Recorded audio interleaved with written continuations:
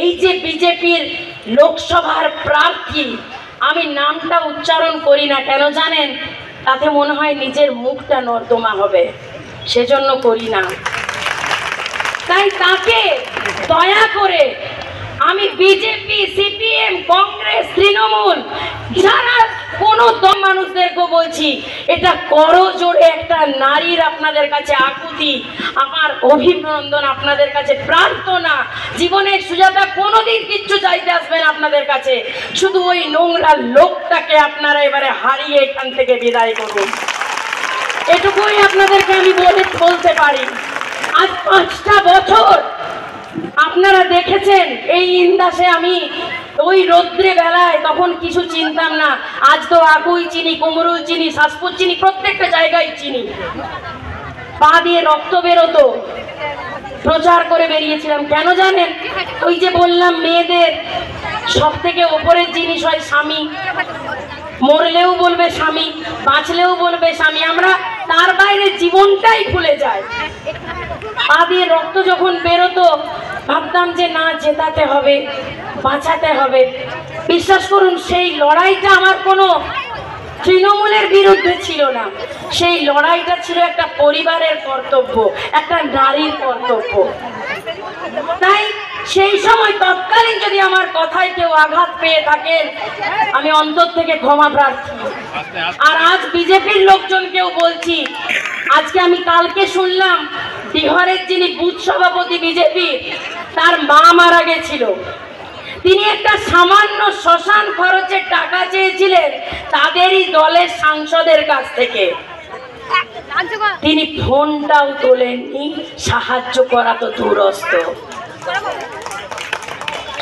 আপনারা খোঁজ নেবেন, নাটক করে গেছিল বাবা সাড়েশ্বরের মন্দিরে। একজন সাথে একজন রক্ষী তাকে সাথে নিয়ে। হ্যাঁ এই ভাষাটা ইউজ করলাম, ক্ষমা করবেন।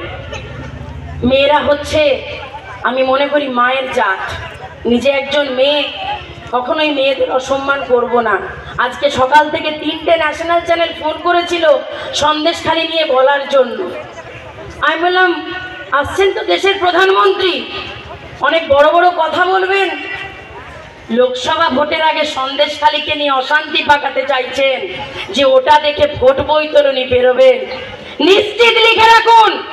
যতই সন্দেশখালীতে আপনাদের বিজেপির সাজানো মহিলাদের পাঠান। তবুও মানুষ মমতা বন্দ্যোপাধ্যায়ের সাথেই থাকবে। সৌমিত্রকা কোর্টের নির্দেশে বাইরে বেরোতে পারেননি, প্রচার করতে পারেননি। আমি সারাটা দিন মানে প্রতিদিন আপনি প্রচার করে ওনাকে জিতিয়েছিলেন।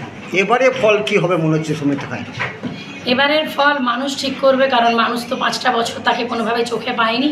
এমনকি তার দলের লোকেরাও চরম বিপদে, চরম দুর্দিনে শ্মশানের খরচটুকুও পায়নি, এটা তো আপনারা সবাই দেখেছেন পরশু দিনের ঘটনা।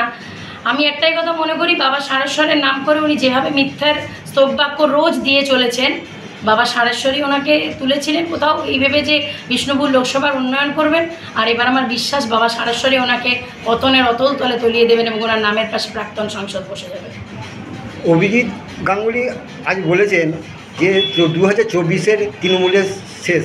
কি বলবেন? অভিজিৎ গাঙ্গুলিকে যে জনতা হিসেবে কিছুদিন আগে একটু সম্মান করছিলাম কোথাও মনে হচ্ছিল যে উনি একজন সৎ বিচারপতি মনে হয়। দেখুন, যদিও আমরা বিচার ব্যবস্থা নিয়ে বা কোর্ট নিয়ে কথা বলতে চাই না, কিন্তু এখন তো উনি আর বিচারপতি নেই। এখন উনি প্রাক্তন হয়ে গেছেন, কিন্তু বুঝতে পারিনি যে ওনার মধ্যে ছিল ক্ষমতার লালসার লোক এবং সর্বোপরি উনি বিজেপির একজন পদলেহনকারী বিচারপতি হিসাবে কাজ করছিলেন। সেটা দিনের আলোর মতো পরিষ্কার হয়ে গেছে। তাই ওনার প্রতি যেটুকু সম্মান একজন জনগণ হিসাবে ছিল, সেই সম্মানটা পুরো ধূলিসাৎ হয়ে গেছে। তবে আমি এটুকু অভিজিৎ গাঙ্গুলিকে নিশ্চিত বলতে পারি আপনি হারের জন্য মানসিকভাবে প্রস্তুত থাকুন।